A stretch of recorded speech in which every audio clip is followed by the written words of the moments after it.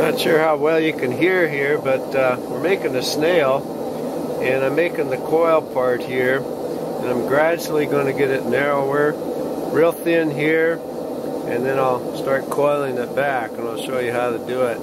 Hopefully the light isn't too bad, so that uh, you can see me hitting the surface here. So I'll get it hot and then turn you back on.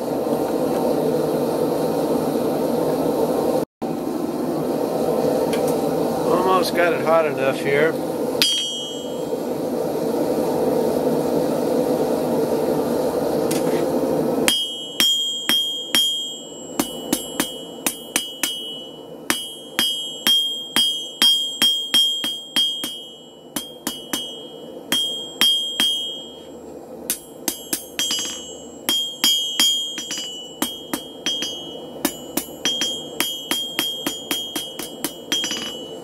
want it nice and long. We're to go way back here and make it longer though.